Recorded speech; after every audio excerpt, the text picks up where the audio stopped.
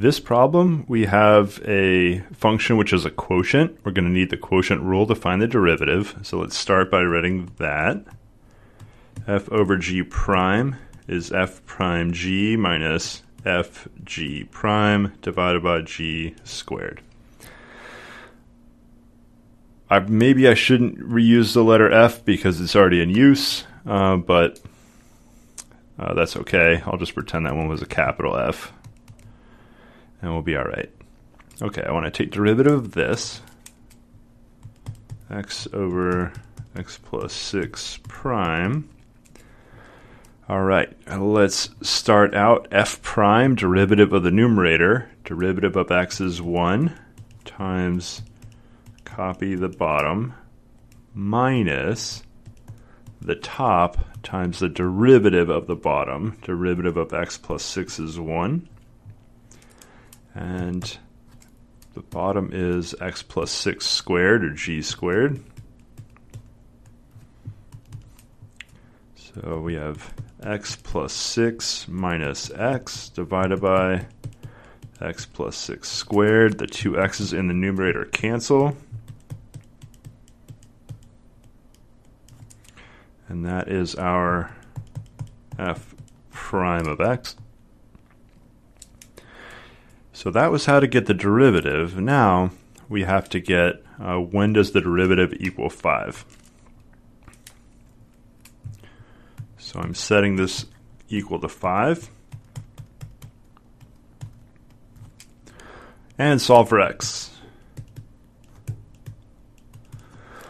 All right, many of you were trained to always FOIL. It's not a bad move, uh, but I'm going to show you why that's not the fastest move. I want to solve for x, which means get x by itself. Right now it's stuck in a fraction, so what I'm going to do is multiply the whole equation by that denominator, x plus 6 squared. All right, we're getting there. I want x by itself. It is tempting, again, to FOIL this, but if I FOIL it, what I'm going to get is an x squared plus 6x plus 6x, which is 12x, plus 6 squared is 36. Now I have x twice, and I'd rather have it one time. So let's think about how we can get rid of everything else around x.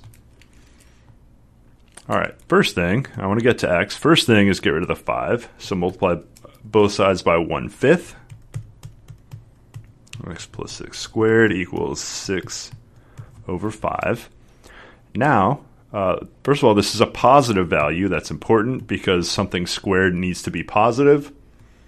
Uh, if this was negative 6 fifths, I would say no solution. But it's positive, so we're fine. Square root both sides. Plus or minus square root 6 fifths. Now subtract 6 negative 6 plus or minus square root 6 fifths. And there's two solutions here, a positive and a negative.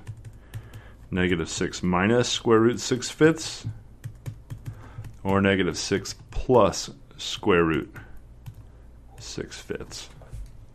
All right, that would be your two solutions up here.